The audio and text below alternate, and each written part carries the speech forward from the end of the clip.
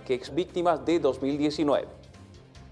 del Congreso 19 de la Asamblea Permanente de Derechos Humanos se determina la expulsión de la señora Amparo Carvajal. Esta es la resolución que en 2021 a nivel nacional determinó la expulsión con ignominia de Amparo Carvajal, las razones por incumplir sus funciones y no proteger los derechos humanos de las víctimas del golpe de Estado en 2019. Por tanto, ella no tendría legitimación activa para decir que ella es presidenta actualmente de Derechos Humanos. Primero, por determinación de los congresales en estricto cumplimiento lo establecido al Estatuto Orgánico, resuelve expulsar con ignominia a la señora María Amparo Carvajal Baños por no haber denunciado las violaciones cometidas en los sucesos luctuosos de Sencata, Sacaba, Guayani, Pedregal y otros, cometidos en la ruptura del orden. Manos de Bolivia señala que la toma y vigilia de Carvajal en la terraza de la Asamblea es ilegal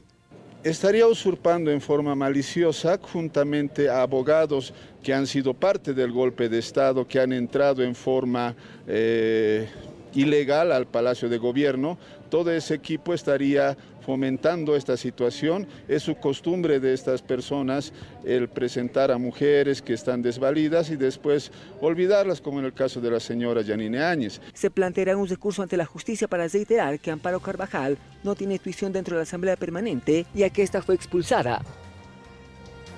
Mientras que el asesor jurídico nacional de la Asamblea Permanente de Derechos Humanos de Bolivia solicitará la noticia